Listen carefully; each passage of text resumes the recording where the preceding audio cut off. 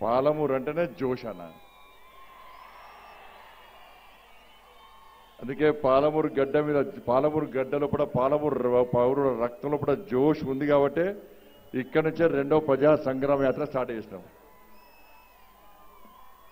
భారత్ మాతాకి రెండు చేతుల మన జాతీయ అధ్యక్షులు జేపీ నడ్డ గారు మధ్యాహ్నం సమావేశంలో చెప్పారు తెలంగాణ రాష్ట్రంలో ఏ మనమల్లది ఎట్టి బస్సులో ఇక్కడ భారతీయ జనతా పార్టీ కార్యకర్తలు తెగించి కొట్లాడుతున్నారు. ఇక్కడ నెక్స్ట్ వచ్చేది భారతీయ జనతా పార్టీ ప్రభుత్వమే మోడీ గారి నాయకత్వంలో వస్తుందని చెప్పి వాళ్ళు ఇచ్చారు వారు ఇంత దూరం వచ్చినప్పుడు వారికి భరోసా ఇవ్వాలా లేదా? ఇద్దామా లేదా? అందరు రెడీ కదా పక్కా? రెండు చేతులు ఎత్తారు కదా? వారు పోయి మళ్ళీ మోడీ గారికి చెప్పాలి కదా ఎస్ తెలంగాణ రాష్ట్రం పైన ఏ మన మన బేఫిగర్ ఉందా మనం కొట్లాడుతారు కొట్టాడని అన్నారు వాళ్ళు. రెండు చేతులు పైకి ఎత్తాలి. భారత్ మాతాకి భారత్ మాతాకి జై! జై శ్రీరామ్! జై జై శ్రీరామ్! జై శ్రీరామ్! రామ లక్ష్మణ జానకి! వందే వందే నరేంద్ర మోడీ గారి నాయకత్వం. నరేంద్ర మోడీ గారి నాయకత్వం. జేపీ నడ్డా గారి నాయకత్వం. జేపీ నడ్డా గారి నాయకత్వం. ధన్యవాదాలు. ఇది జోష్ అన్న. భారతీయ జనతా పార్టీ రెండవ దశ ప్రజా సంగ్రామ యాత్రలో భాగంగా ఇరవై రెండు రోజులు పూర్తయింది. ఈరోజు ఈ పాలమూరు గడ్డ మీద ఏర్పాటు ఈ భారీ బహిరంగ సభకు సభాధ్యక్షత వహిస్తున్నటువంటి పెద్దలు సూర్యుడు జిల్లా అధ్యక్షుడు వీరబ్రహ్మచారి గారు మన ప్రియతమ నేత మన ఆదర్శమూర్తి భారతీయ జనతా పార్టీ కార్యకర్తలకు దేశంలో ఏ కష్టం వచ్చినా ఏ ఇబ్బంది వచ్చినా కూడా వెంటనే ఫోన్ చేసి కార్యకర్తలారా భయపడకండి మీ కండగా నేనుంటా అని చెప్పి మనల్ని ఉత్తేజపరిచి ఉత్సాహపరిచి స్ఫూర్తిదాయకంగా ఉన్నటువంటి మన జాతీయ భారతీయ జనతా పార్టీ జాతీయ అధ్యక్షులు శ్రీ జేపీ నడ్డా గారికి భారతీయ జనతా పార్టీ జాతీయ ఉపాధ్యక్షురాలు మా అక్క శ్రీమతి డికే అరుణ గారికి భారతీయ జనతా పార్టీ జాతీయ ప్రధాన కార్యదర్శి మనకు ఎప్పుడప్పుడు ఎప్పుడప్పుడు సలహాలు ఇస్తూ ఈ తెలంగాణ రాష్ట్రంలో భారతీయ జనతా పార్టీని ఎట్టి బస్సులో అధికారంలో తీసుకొచ్చే వరకు మిమ్మల్ని నిద్ర ఓనియా నేను నిద్ర ఓనని చెప్పి నిరంతరం మనకు అండగా ఉన్నటువంటి మన రాష్ట్ర ప్రభారి భారతీయ జనతా పార్టీ జాతీయ ప్రధాన కార్యదర్శి పెద్దలు శ్రీ తరుణ్ చుగ్ గారు భారతీయ జనతా పార్టీ నాయకులు కేంద్ర మంత్రివర్యులు శ్రీ జి కిషన్ రెడ్డి గారు భారతీయ జనతా పార్టీ మధ్యప్రదేశ్ ఇన్ఛార్జ్ పెద్దలు సీనియర్ నాయకులు శ్రీ మురళీధరరావు గారు ఓబీసీ మోర్చా జాతీయ అధ్యక్షులు మన ప్రీతమ నాయకులు డాక్టర్ కె లక్ష్మణ్ గారు తమిళనాడు సహప్రభారి భారతీయ జనతా పార్టీ నాయకులు శ్రీ పి సుధాకర్ రెడ్డి గారు భారతీయ జనతా పార్టీ జాతీయ కార్యవర్గ సభ్యులు మాజీ పార్లమెంట్ సభ్యులు అన్న వివేక్ వెంకటస్వామి గారికి భారతీయ జనతా పార్టీ జాతీయ కార్యవర్గ సభ్యులు శ్రీ గరికపాటి మోహన్ రావు గారికి ఈ ప్రాంతానికి సంబంధించినటువంటి ముద్దుబిడ్డ ఇప్పటి వరకు గర్జించిన గార్డించిన మా అన్న భారతీయ జనతా పార్టీ జాతీయ కార్యవర్గ సభ్యులు శ్రీ జితేందర్ రెడ్డి గారికి భారతీయ జనతా పార్టీ జాతీయ కార్యవర్గ సభ్యులు హుజరాబాద్ శాసనసభ్యులు తెలంగాణ ఉద్యమ కావడైనటువంటి శ్రీ ఈటల రాజేందర్ గారికి దుబ్బాకలో దుబ్బాకలో కేసీఆర్ను దుమ్ము దుమ్ము చేసినటువంటి శాసనసభ్యులు శ్రీ రఘునందరావు గారికి ముఖ్యంగా ఈరోజు మర్చిపోయిన ఇప్పటిదాకా హిందూ ధర్మం కోసం నిరంతరం పరితపించే ఎవరు? ఎవరు? భారతీయ జనతా పార్టీ శాసన సభపక్ష నాయకులు శ్రీ రాజా సింగ్ గారికి. ఇందూరులో నిజామాబాద్లో ఎవరిని ఒడగొట్టాలో వాళ్ళని ఒడగొట్టి భారతీయ జనతా పార్టీ కాషాయపు జెండాను రెప్పరెప్పలాడించిన పార్లమెంటు సభ్యులు సోదరుడు ధర్మపురి అరవింద్ గారికి ఆదివాసీ ముద్దుబిడ్డ ఆదివాసీ హక్కుల కోసం నిరంతరం పోరాటం చేస్తున్నటువంటి ఆదిలాబాద్ పార్లమెంట్ సభ్యులు సోదరులు సోయం బాబురావు గారికి వేదిక పైనటువంటి ఇతర పెద్దలందరూ కూడా సమయం లేదు కాబట్టి వేదికమైన పెద్దలందరికీ భారతీయ జనతా పార్టీ రాష్ట్ర ప్రధాన కార్యదర్శులు శ్రీ ప్రదీప్ కుమార్ గారికి శ్రీ ప్రేమంత్ రెడ్డి గారికి సోదరి బంగారు శృతి గారికి యాత్ర ప్రముఖ్ మనోహర్ రెడ్డి గారికి సహ ప్రముఖ్ వీరేందర్ గౌడ్ గారికి శంకర్ గారికి దీపక్ రెడ్డి గారికి ఇతర వేదికమైనటువంటి పెద్దలందరూ కూడా హృదయపూర్వక నమస్కారాలు తెలియస్తూ ఇంత పెద్ద ఎత్తున అశేషంగా విశేషంగా తరలి వచ్చిన నా పాలమూరు అన్నలకు అక్కలకు తమ్ములకు చెల్లెలకు శిరస్సు వంచి వినమ్రపూర్వక నమస్కారాలు తెలియజేస్తున్నా మొన్ననే దర్శనం చేసుకున్నా అమ్మవారిది. జోగులమ్మవారి దర్శనం చేసుకున్నా. దాంతోపాటు ఒక సెంటిమెంట్ ఇడ తీరితే తిరుపతి పోవాలి తీరకుంటే మన్నం కూడా పోవాలి. ఆ అమ్మవారిని దర్శనం చేసుకున్నాను ఆ స్వామివారి దర్శనం కాలే. చెప్పిన తెలంగాణ రాష్ట్రంలో భారతీయ జనతా పార్టీ అధికారంలోకి వచ్చాక స్వామివారు తప్పకుండా వచ్చి నీ దర్శనం చేసుకుంటా తిరుపతి స్థాయిలో ఈ ప్రాంతమంతా నీ మహిమ మొత్తం వ్యాపించింది స్వామి తప్పకుండా ఈ వ్యా- మహిమేదో ఈ తెలంగాణ రాష్ట్ర ప్రజలకు అంది స్వామి అని చెప్పి స్వామివారిని మొక్కోవడం జరిగింది. కురుమూర్తి స్వామివారు ఒక ప్రతిష్ట కలవడానికి మీ అందరి యొక్క దైవం ఆ స్వాముల వారి వారిని వేడుకుంటూ వారిని తలుస్తూ వారిని కొలుస్తూ ఈరోజు ఇంత బహిరంగ సభకు ఇంత పెద్ద ఎత్తున తరలి వచ్చిన నిజంతా కూడా ఎంత కూడా నాకే ఆశ్చర్యం అనిపిస్తుంది అన్న. చాలామంది అన్నారు భారతీయ జనతా పార్టీ పాలమూరులో ఎక్కడ? అని చెప్పి. అలంపూర్లో ఎక్కడ అంటే చూపెట్టినాం. అలంపూర్లో ఎక్కడ ఉంటుంది ఇక్కడ చూపెట్టినాం. మక్తల్లో ఎక్కడంటే మక్తలు ఇక్కడనే ఉండదని అక్కడ చూపెట్టినాం మనం. గద్వాలో భారతీయ జనతా పార్టీ కంటే మాకు అక్కడనే చూపెట్టింది ఇక్కడనే ఉందని చూపెట్టింది. ఇక నారాయణపేటలో ఏమైందో మీ అందరు తెలుసు నారాయణపేటలో ఏమైందో. ఈరోజు పాలమూరు గడ్డ మీద కూడా భారతీయ జనతా పార్టీ అక్కడ కాదు ఇక్కడ కాదు ఎక్కడైనా ఉంటుందని చెప్పి ఇంత పెద్ద ఎత్తున స్వచ్ఛందంగా తరలి వచ్చిన మీ అందరు కూడా నిజంగా హెడ్స్ ఆఫ్ అన్న మీ అందరికీ. కసి ఉందన్న తెలిపి పాలమూరు గడ్డ మీద ఇంత పెద్ద ఎత్తున తరలి రావడానికి ఇక్కడ పాలమూరు గడ్డ మీద ప్రజలందరూ కూడా అనేక కష్టాలు ఎదుర్కొంటున్నారు. అనేక ఇబ్బందులు ఎదుర్కొంటున్నారు. అనేక సమస్యలతో తల్లడిల్లుతున్నారు. అందుకే ఇంత పెద్ద ఎత్తున వచ్చి భరోసా ఇస్తున్నామన్న భరోసా. నరేంద్ర మోడీ గారి పిలుపు మేరకు భారతీయ జనతా పార్టీ కార్యకర్తలారా ఇంట్లో ఉండకండి. గల్లి గల్లీలో గ్రామ గ్రామంలో బస్తి బస్సులో తిరగండి నేను అనేక సంక్షేమ పథకాలు తెలంగాణ రాష్ట్రానికి ఇచ్చా అని చెప్పి నా నరేంద్ర మోడీ మన నరేంద్ర మోడీ చెప్తే ఎర్ర టెండలు మండు టెండలు మీకోసం తిరుగుతున్నామన్నా మేమందరం ఈ ప్రజల కోసం పాలమూరు గడ్డ కోసం తిరుగుతున్నామన్నా ఇబ్బంది అనిపించిందన్న పాలమూరు గడ్డను చూస్తే? ఎడారని చూసినామన్నా నమ్మినామన్నా విన్నమన్నా ఎడారి పాలమూరు గడ్డ అని చెప్పి. కానీ ఇది పాదయాత్ర చేస్తుంటే ఎడారి కదన్నా అబ్బా అబ్బా అబ్బా అబ్బా అబ్బా. ఇంతకుముందు గరికపాటి గారు అంటున్నారు ఎక్కువ నిలు నిల్వ నీడలో చెట్టు లేదన్న ఇల్లు పక్క పడి చెట్టు లేదు ఇక్కడ అని చెప్పి. ఎక్కడ చూసినా ఆలంపూర్లో స్టార్ట్ చేసినాం.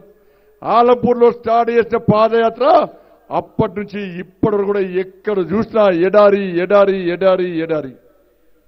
ఈ ఎడారి లేకుండా ఈ పాలమూరును పచ్చం చేసే అవకాశం ఉంది. ఉంది అవకాశం. కానీ టీఆర్ఎస్ పార్టీ నాయకులకు రాష్ట్రం ముఖ్యమంత్రికి మనసు లేదన్న మీ పాలమూరు మీద పగబట్టి నన్ను కక్ష తీసుకుంటున్నా రాష్ట్ర ముఖ్యమంత్రి. ఎందుకు భరిస్తున్నారో నాకు ఇప్పటికి అర్థమవుతలేదు అక్క. ఈ పాలమూరు గడ్డ మీద ప్రజలు ఎందుకు ఇంకా భరిస్తున్నారు రాష్ట్ర ముఖ్యమంత్రిని? ఎందుకు టీఆర్ఎస్ పార్టీ నాయకులు అని చేస్తున్నారో ఇప్పుడు కూడా అర్థం కావట్లేదు నాకైతే. అక్కడ సారక్షణం ఆలంపులో ఆర్టీఎస్ సమస్య ఎనిమిది సంవత్సరాలుగా ఆర్డీఎస్ సమస్యను పరిష్కరిస్తా ఆర్డీఎస్ను ఆధునీకరించి ఈ పాలంపూర్ నియోజకవర్గానికి సస్యశ్యామలం చేస్తా పంట పొలాలకు నీరిస్తా సాగు నీరిస్తా అని చెప్పి హామీ ఇచ్చిన రాష్ట్ర ముఖ్యమంత్రి కుర్చేసుకొని కూర్చుంటున్న రాష్ట్ర ముఖ్యమంత్రి కనీసం పట్టించుకోకపోవడం వలన కనీసం పట్టించుకోవడం వలన ఈ రోజు ప్రజా సంగ్రామ యాత్ర ప్రారంభిస్తున్న తరుణంలో కేంద్ర మంత్రిని మేము కలిసినాం కేంద్ర మంత్రి గెలిచినాక ఆ కేంద్ర మంత్రి సమాన్ చెప్పాడు. కర్ణాటక రాష్ట్రంలో నవ్వుతున్నారు బాయి సాబ్ మీ తెలంగాణ రాష్ట్ర ముఖ్యమంత్రిని చూసి. ఆంధ్రప్రదేశ్ రాష్ట్ర ప్రజలు నవ్వుతున్నారు బాయి సాబ్ మీ తెలంగాణ రాష్ట్ర ముఖ్యమంత్రి ఒక చాత గణాన్ని చూసి. ఆర్డీఎస్ను ఆధునీకరించేది ఎవడొద్దన్నాడు?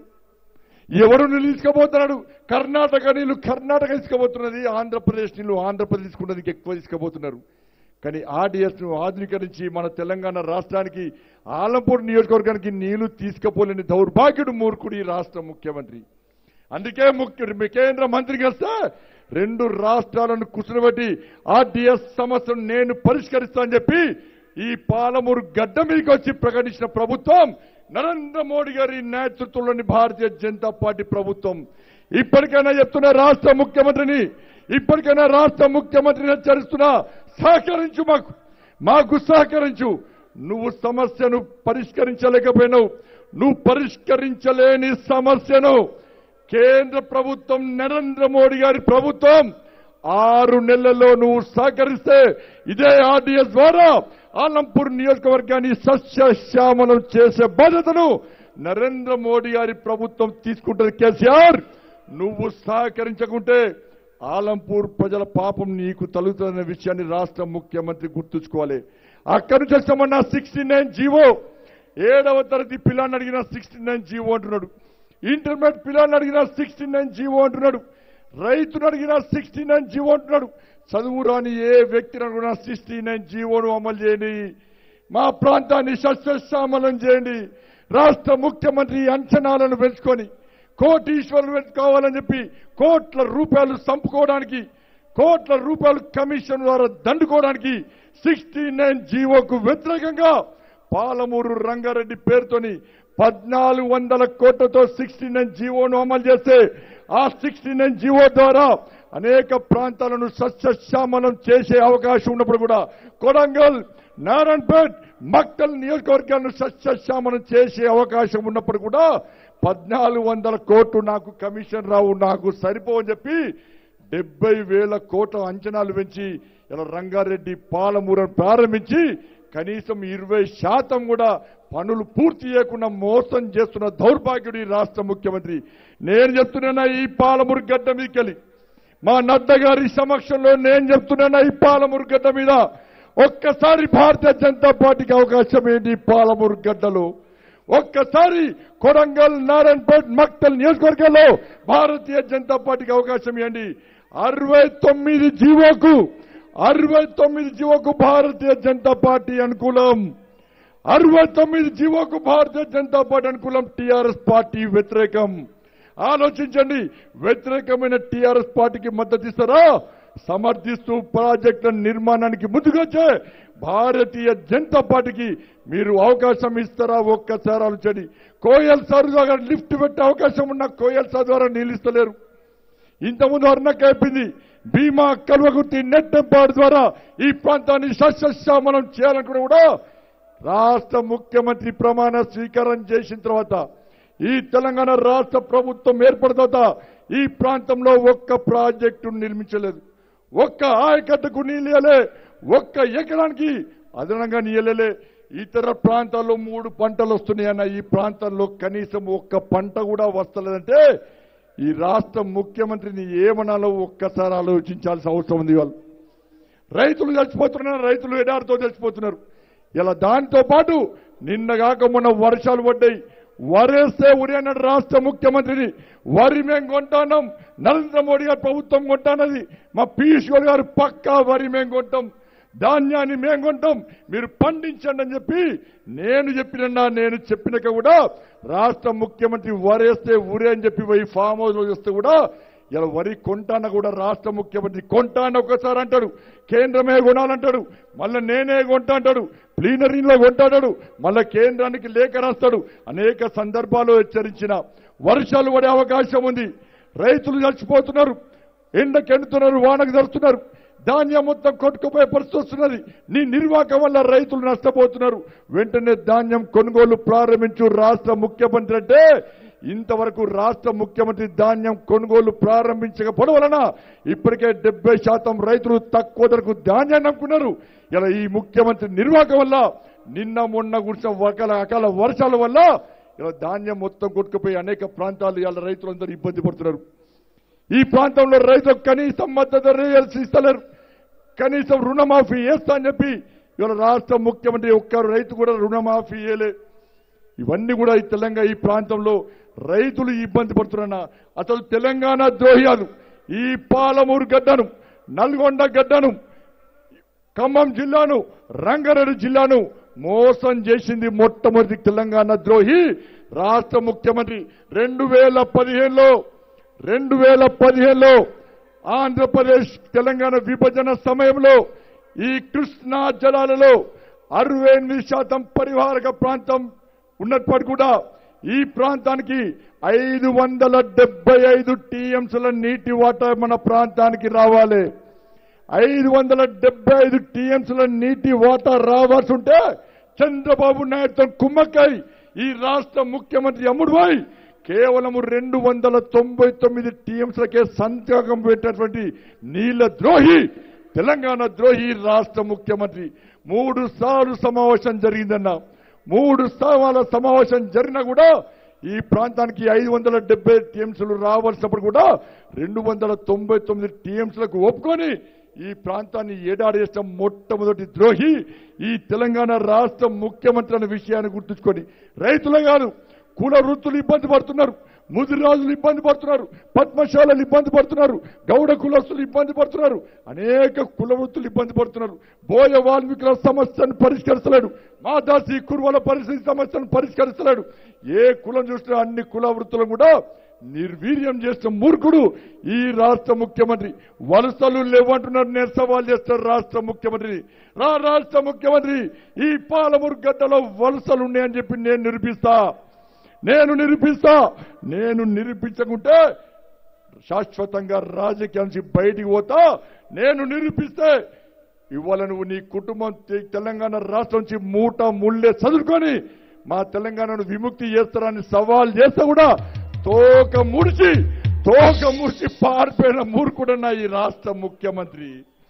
తోక ముడిచి పారిపోయిన ముఖ్యమంత్రి అన్న ఈ రాష్ట్ర ముఖ్యమంత్రి. ఇప్పుడు వీళ్ళన్యాయం చేసిర్రు. మొన్న చూస్తున్నప్పుడు ఒక చిన్న బాబు చూసిన. ఇవన్నీ చూస్తే ఒకప్పుడు తెలంగాణ పాట గుర్తొస్తే మా దరువులనే చెప్పిండు. వలసల మీద ఒకప్పుడు తెలంగాణ ఉద్యమం పాటలు రాసుకున్నాం మనం. ఉండు పైలంగుండు అమ్మ మాయమ్మ. ఇల్లు పైలంజుడు తల్లి మాయమ్మ. బతుకు తెరువుకని అమ్మ మాయమ్మ. బొంబాయి పోతున్న తల్లి మాయమ్మ అని చెప్పి వేసుకుంటూ పాట పాడమన్న తెలంగాణ ఉద్యమం అప్పుడు ఈ రోజు ఏమైందన్నా ఇంకా వలసలు అట్నే ఉన్నాయన్నా. పసి పాపలు ఎత్తుకొని వలసలు పోతురు బొంబాయి రాష్ట్రానికి. రాష్ట్ర ముఖ్యమంత్రి రాష్ట్ర ముఖ్యమంత్రి కుటుంబం వస్తుంది. ఏడ వలసలు పోతురు బొంబాయి నుంచే భీమ నుంచే సూరత్ నుంచే? పాలమురుగ కళ్ళు దొబ్బినే రాష్ట్ర ముఖ్యమంత్రి నీకు నీ కుటుంబానికి.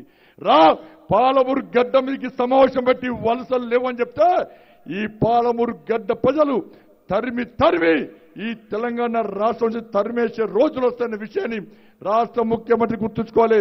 ఒకప్పుడు ఇప్పుడు టీఆర్ఎస్ పార్టీ మోసం చేసింది. గతంలో కాంగ్రెస్ పార్టీ మోసం చేసింది. వస్తుండట రేపు రాహుల్ గాంధీ వస్తుండట. ఏం భీకరంగా వస్తుండో ఇంతవరకు అర్థలేదు పద్నాలుగు వందల మంది అన్నా పద్నాలుగు వందల మంది ఈ తెలంగాణ రాష్ట్రంలో పేదోళ్ళు బలేరన్న ఈ తెలంగాణ రాష్ట్ర ఉద్యమంలో పేదోళ్ళు చచ్చిపోయారన్న ఈ తెలంగాణ రాష్ట్ర ఉద్యమంలో కారణం ఎవరన్నా కాంగ్రెస్ పార్టీ ఇయ్యాల్సిన సమయంలో కాలయాపన చేసి పద్నాలుగు వందల మంది రక్తం తాగిన తర్వాత అప్పుడు మనసు జరిగిందన్న కాంగ్రెస్ పార్టీకి సోనియా గాంధీకి. చెప్పాలే రాహుల్ గాంధీ ఎందుకు పోతున్నావు ఉస్మాన్ యూనివర్సిటీ? నా శ్రీకాంత్ ఆచారి రక్తపు మడుగులను చూడడానికి పోతున్నావా? ఓ రాహుల్ గాంధీ నా ఈశాంత్ రెడ్డి రక్తపు మడుగులు చూడడానికి పోతున్నా రాహుల్ గాంధీ నా పోలీస్ కిష్ట నా ఆత్మ క్షోభిస్తుంది రాహుల్ గాంధీ. చెప్పు! క్షమాపణ చెప్పు తెలంగాణ రాష్ట్రానికి. నీ మీద మీ పార్టీ మీద తెలంగాణ ప్రజలకు విశ్వాసం లేదు.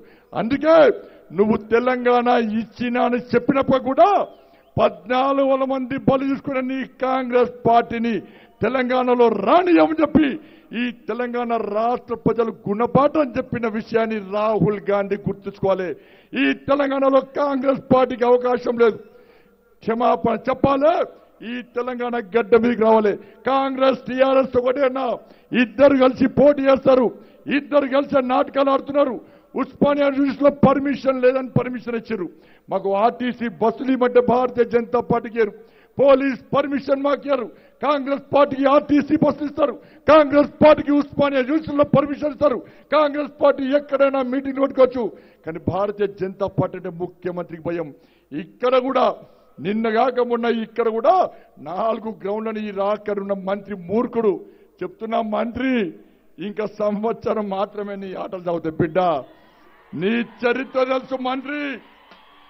నీ చరిత్ర తెలుసు. మేము నోరు తెరిస్తే నీ బతుకు చీ బతుకైతే తప్ప విషయాన్ని రాష్ట్రం ఇక్కడ ఉన్న మంత్రి గుర్తుంచుకోవాలి. పేదోళ్ళ ఇల్లు ఎవరి పేరు మీద ఉందో గ్యారెంటీ లేదు. ఉదయం మన పేరు మీద ఉన్న ఇల్లు సాయంత్రం మంత్రి కబ్జాలో పోతుంది. రిపోర్టర్లను బెదిరిస్తాడు పోలీసు వాళ్ళని బెదిరిస్తాడు అధికారులను బెదిరిస్తాడు విపక్ష నాయకులను బెదిరిస్తాడు భారతీయ జనతా పార్టీ కార్యకర్తలను బెదిరిస్తాడు. అయితే చంపుతా అని బెదిరిస్తాడు. లేకుంటే చంపుతురు అని చెప్పి కేసులు పెట్టే మూర్ఖుడు ఇక్కడ ఉన్న మంత్రి. ఏం చేస్తావు ఇస్తే పాలమూరు గడ్డ మీదకి? అక్రమంగా అడ్డగోలుగా సంపాదించి భూ కబ్జాలు చేసి ఇసుక దండ మట్టి దండ చేసి గుంట నక్కలక దున్నపోతులక కోట్ల రూపాయలు సంపాదించి ఈ గడ్డ మీద అన్యాయం చేస్తున్న మూర్ఖుడు ఈ ప్రాంత మంత్రి. ఎవ్వడు భయపడాడు. నువ్వు ఇప్పుడు రౌడీజం చేస్తున్నావు మంత్రి మంత్రినక రౌడీ చేస్తున్నావు. మా భారతీయ జనతా పార్టీ కార్యకర్తలు నమ్మిన సిద్ధాంతం కోసం నక్సలైట్లతో కొట్లాడిరు ఉగ్రవాదులతో కొట్లాడిరు బాడీలో బుల్లెట్ దిగిన కూడా భారత్ మాతకి జై అని గర్జించిన కార్యకర్తలు భారతీయ జనతా పార్టీ కార్యకర్తలు. రౌడీజం చేస్తాం మేము రౌడీజం చేస్తాం. పేద ప్రజల కోసం రౌడీజం చేస్తాం బడుగు బలహీన వర్గాల కోసం రౌడీజం చేస్తాం. నమ్మిన సిద్ధాంతం కోసం రౌడీజం చేస్తాం. నువ్వు ఇప్పుడు రౌడీజం చేస్తే నీ తాటాకు చెప్పులకు భయపడలేదు. వచ్చేది భారతీయ జనతా పార్టీ ప్రభుత్వం. పోలీస్ అధికారులు చెప్తున్నా ఇవాళ కేవలం కొన్ని సంవత్సరాలే ఒక్క సంవత్సరం మాత్రమే టీఆర్ఎస్ పార్టీ ప్రభుత్వం ఉంటుంది. కేవలము కేవలము రేపు ఎల్లుండే పోయే పార్టీ టీఆర్ఎస్ పార్టీ. కేంద్రంలో నరేంద్ర మోడీ ప్రభుత్వం ఉంది. తెలంగాణ రాష్ట్రంలో నీ ప్రభుత్వం ఉండొచ్చు. ఎప్పుడు ప్రభుత్వం ఏర్పడ్డా ఈ మంత్రి ఏ దేశంలో ఏ పొక్కలో కూడా గుంజుకొచ్చి తప్పకుండా పేదల ఆస్తులను తిరిగి స్వాధీనం చేసుకుంటాం. పేదలకు తప్పకుండా ఇస్తామన్న విషయాన్ని ఈ సందర్భంగా అసలు ఎవ్వరు భయపడలేదు మనకు నడ్డ గారు ఉన్నారు మనకు మోడీ గారు ఉన్నారు. ఎవరు భయపడవలసిన లేదు. మీకు ఏ కష్టం వచ్చినా ఏ ఇబ్బంది వచ్చినా మీకోసం రాష్ట్ర నాయకత్వం ఏ రాత్రైనా మీ దగ్గరకు వస్తున్న విషయాన్ని గుర్తుంచుకోండి. త్రీ వన్ సెవెన్ జీవో ఈయన ఉద్యోగ సంఘం నాయకుడు చెప్పి three one G three one seven జీవోని కనీసం వ్యతిరేకించలే. భార్య కూడా భర్త కూడా కొడుకో కూడా తల్లిదండ్రులు కూడా ఇలా ఉద్యోగస్తులు ఉపాధ్యాయులు ఇబ్బంది పడుతున్నారు. జీతాలు వస్తలో జీతాలు వస్తాయా లేవా గ్యారంటీ లేదు. ఇలా నేను జైలుకున్నాం మా కార్యకర్తలు జైలుగారు మా బొడిగ శోభక్క ఇలా త్రీ వన్ సెవెన్ జీవో కోసం జైలుకు ఇలా ఉద్యోగాలు ఏమంటే ఉన్న ఉద్యోగాలు తొలగిస్తున్నారు. నిన్న మొన్న చూసినాం. గ్రూప్ వన్ నోటిఫికేషన్ చూసినాం. గ్రూప్ వన్ నోటిఫికేషన్లో ఉర్దూను చేర్చారు అది చూడనా ఒక్కసారి తెలంగాణలో నిరుద్యోగ యువత? ఉర్దూ నేర్చుకోవాలన్నా మీరందరూ ఉర్దూ రాసుకోకుంటే ఉర్దూ నేర్చుకోకుంటే మీరు చదివి వేస్తే మీరు ఎంత కష్టపడ్డా వేస్ట్ అన్న సంకేతం రాష్ట్ర ముఖ్యమంత్రితో ఎంఏ పాటోనికి గ్రూప్ వన్ ఉద్యోగాలను మొత్తం తాకట్టు పెట్టిన విషయాన్ని నిరుద్యోగత గుర్తుంచుకుంది. ఉర్దూ చదివేది వాడే ఉర్దూ నేర్పేది వాడే ఉర్దూ పేపర్ తయారు చేసేది వాడే ఉర్దూ పేపర్ దిద్దేది వాడే. ఉర్దూ ద్వారా ఎన్ని ఈ గ్రూప్ వన్లో ఉద్యోగాలు పొందేది కూడా వాళ్ళే అన్న విషయాన్ని ఒక్కసారి గుర్తుంచుకోండి. మేము కోర్టు ద్వారా ఆపం. కోర్టు ఓము. గ్రూప్ వన్ నోటిఫికేషన్ కోర్టు ద్వారా ఎట్టి పసులో భారతీయ జనతా పార్టీ ఆపదు. కానీ రాష్ట్ర ముఖ్యమంత్రిని చరిస్తున్నా మా ప్రభుత్వం వస్తుంది. మా ప్రభుత్వం వచ్చిన తర్వాత ఈ ఉర్దూ ద్వారా ఏదో గ్రూప్ వన్లో ఉద్యోగాలు ఉర్దూ ద్వారా పొందినో ఆ ఉద్యోగాలను ఎట్టి పసులో తొలగిస్తాం. తొలగించి ఈ నిరుద్యోగ యువతకు ఇచ్చే బాధ్యతను భారతీయ జనతా పార్టీ తీసుకుంటది ఇది మాట్లాడితే కూడా మద్దతత్వం. ఇది మాట్లాడితే కూడా మద్దతత్వం. ఏమైందన్న పాలమూరు గడ్డలో? పాలమూరును మహబూబ్ నగర్ చేద్దామా? పాలమూరుగా ఉంచామా ఒక్కసారి ఉంచండి. అరే పాలమూరుకు చరిత్ర ఉంది. పాలమూరు పేరుకు చరిత్ర ఉంది నీ మహబూబ్ నగర్ చరిత్ర ఎక్కడుందో చెప్పురా బడివే. ఇవాళ పాలమూరు సర్కిల్కు పాలమూరు ఒక చౌరస్తాకు పాలమూరు సర్క్యూట్ అని పెడితే ఎవడో ఒకడు ఫాల్ట్ గాడు వాట్సాప్ ద్వారా పెడితే రాత్రికి రాత్రే ఫ్లెక్సులు తీసేసి మహబూబ్ నగర్ అన్నారు. చెప్పండి అన్న ఒక్కసారి మా నడ్డ గారికి ఈ జిల్లాను పాలమూరు చేద్దామా మహబూబ్ నగర్ చేద్దామా ఒక్కసారి చెప్పండి. ఏం చేద్దాం? ఏం చేద్దాం? ఏం చేద్దాం? పక్కా చేసుడే కదా. ఎవ్వనికి భయపడే పార్టీ భారతీయ జనతా పార్టీ కాదన్నా.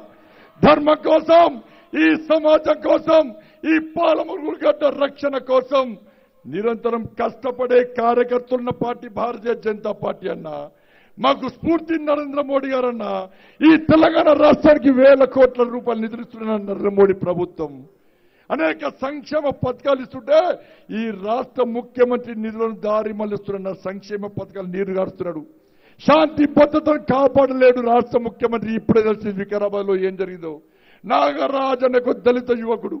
ఒక ముస్లిం అమ్మాయిని పెళ్ళి చేసుకుంటే నడి బజార్లో సమాజం అంతా చూస్తుంటే గొడ్డలతో నరికిన సందర్భాన్ని ఒక్కసారి గుర్తేసుకున్న పాపతో మాట్లాడాను నేనే.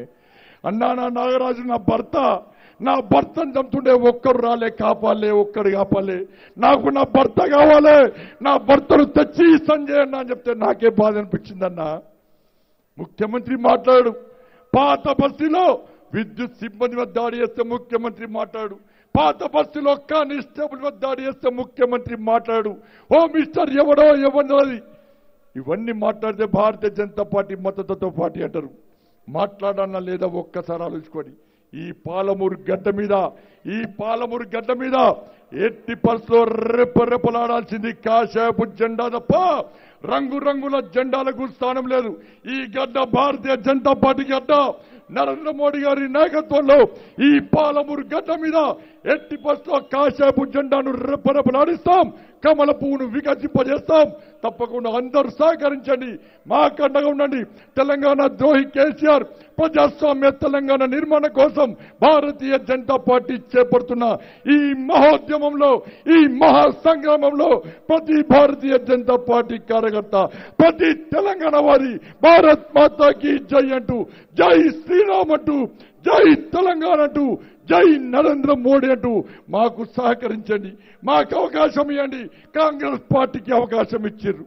తెలుగుదేశం పార్టీకి అవకాశం ఇచ్చిర్రు. టీఆర్ఎస్ పార్టీకి అవకాశం ఇచ్చిర్రు. నరేంద్ర మోడీ గారి నేతృత్వంలోని భారతీయ జనతా పార్టీకి ఒక్కసారి అవకాశం ఇవ్వండి అన్న. ఈ పాలమూరు గడ్డకు సేవ చేస్తామన్నా. ఈ పాలమూరు గడ్డకు మీ అందరికీ సేవ చేసే అవకాశం మాకు ఇవ్వండి నీతివంతమైన పాలన ధైర్యవంతమైన పాలన మీకు అందిస్తాం. ఈ పాలమూరు గడ్డ సమస్యలను ఎట్లా పరిష్కారం కావో పక్కా పరిష్కారం చూపే బాధ్యతను మాకు అప్పగించాల్సిందిగా మీ అందరికీ సవీనంగా విజ్ఞప్తి చేస్తూ ఇంత పెద్ద ఎత్తున తరలి వచ్చినా మీ అందరు కూడా హృదయపూర్వక ధన్యవాదాలు తెలియజేస్తూ ఒక్క రిక్వెస్ట్ అన్న. చివరిగా ఒక్క రిక్వెస్ట్. లాక్డౌన్ ప్రకటించిన మోడీ గారు లాక్డౌన్ ప్రకటించిన దేశం మొత్తం లాక్డౌన్ ప్రకటించిన మోడీ గారు పిలిపించారు. ప్రతి భారతీయ జనతా పార్టీ కార్యకర్త ఇంట్లో ఉండకండి. మీరు పస్తులున్నా ఈ తెలంగాణ రాష్ట్రంలో ఈ పాలమూరు గడ్డలో పేద ప్రజలు పస్తులు ఉండొద్దని చెప్పి మోడీ గారు పిలిపించారు. మా జాతీయ అధ్యక్షులు నడ్డగారు నా అన్న జాతీయ అధ్యక్షులు అయిన తర్వాత ప్రతిరోజు వీడియో కాన్ఫరెన్స్ మాకు పెట్టారు. ఎవ్వరు కూడా ఈ కార్యకర్తలు ఇంట్లో ఉండదు ప్రతి కార్యకర్త కనీసం ఐదుగురికి భోజనాలు పెట్టండి. మెడిసిన్స్ ఇవ్వండి. బీపీ కిట్స్ ఇవ్వండి మాస్కులు ఇవ్వండి శానిటైజర్స్ ఇవ్వండి. అవసరమైతే చెప్పులు కూడా కొనియడని చెప్పి ఇవాళ నడ్డ గారు మాకు స్ఫూర్తి నింపినన్న. ఈ తెలంగాణ రాష్ట్రంలో సేవేసే అవకాశం వచ్చిందన్న. అలాంటి మన ప్రియతమ నాయకులు నడ్డ గారికి ఒక్కసారి రెండు చేతులతోని కరతాల ధ్వనితోని వారికి ధన్యవాదాలు తెలియాల్సిందిగా ముగిస్తాను. భారత్ మాతాకి భారత్ మాతాకి నరేంద్ర మోడీ గారి నాయకత్వం.